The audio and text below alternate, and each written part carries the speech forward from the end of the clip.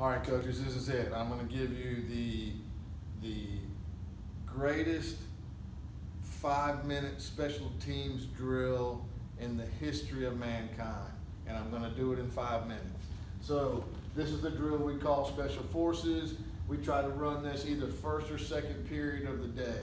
You're working your entirety of your uh, special teams skill guys. Then off the field, you've got your O-line coach working with your O-line, and then you've got another coach working the backs, and this is everyone else that's not involved in the drill. They're working agilities and getting more athletic. You're trying to build elite athletes. So here's the breakdown of the field. We use 50 yards uh, because we do the identical drill as pregame warm-up on Friday night.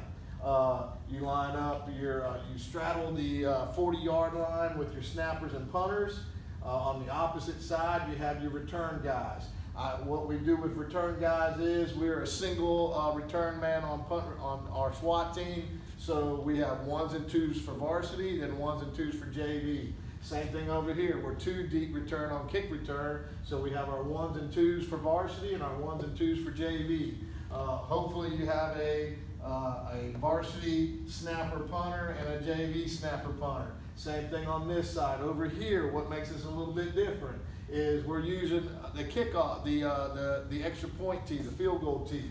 So you have a, a center, a holder, and a kicker, center, holder, kicker. Again, hopefully you got varsity and JV. Sometimes that's the same kid. We got to flop them or flop them by days, flop them by, because this is an everyday drill. So sometimes by minutes, sometimes by days, usually by days.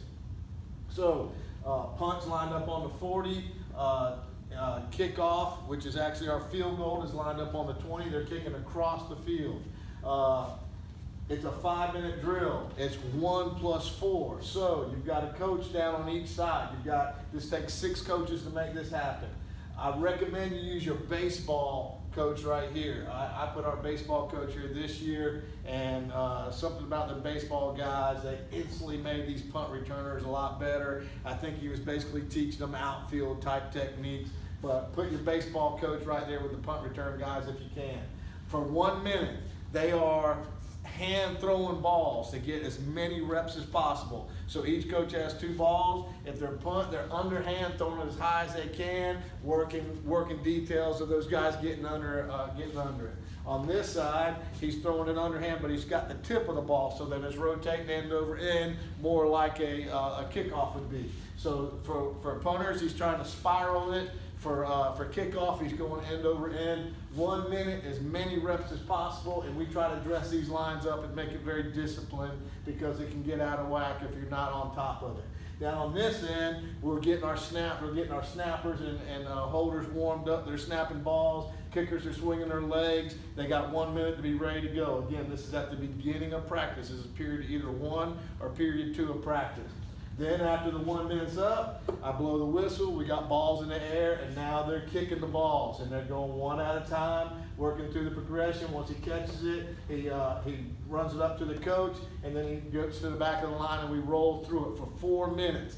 You will get an unbelievable amount of kicks and catches, plus the one minute where you're getting probably 20 more catches down here with these guys, and just a five-minute period. Now, to be honest when we teach it the first time in the spring, and really we reload it again in the summer, we take 10 minutes for the first week to teach this drill. But after that first week, it's a five minute drill. Uh, one last thing, I got these little dashes right here. We found the easiest way. You need two, four, six, eight balls. The easiest way is to put uh, line up eight balls on the end line and have the snappers and, and uh, the snappers here and the uh, return guys here. They each grab their balls and take it to their station at the beginning of the period, so you don't have to set the field up ahead of time, and everyone's got their balls to get through. Once the one minute's over, they, these balls come down here, so you got plenty of balls going. The coaches on this side are responsible for making sure we're alternating the kicks. You don't want you know, you don't want two punts up in there at the same time. It's one punt, then the next punt. Same thing over here. One kick, then the next kick.